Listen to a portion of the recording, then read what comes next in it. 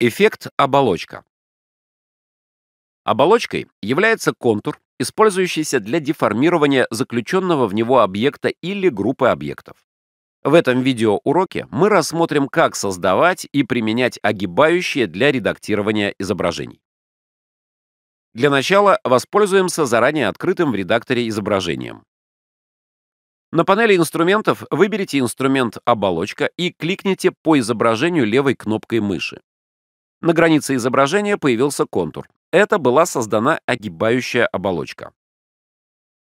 Для того, чтобы изменить форму изображения, перетащите узлы.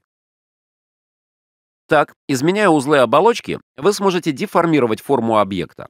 При этом общая форма изображения не изменяется, а изменяются пропорции отдельных ее областей соответствующих выбранному узлу оболочки.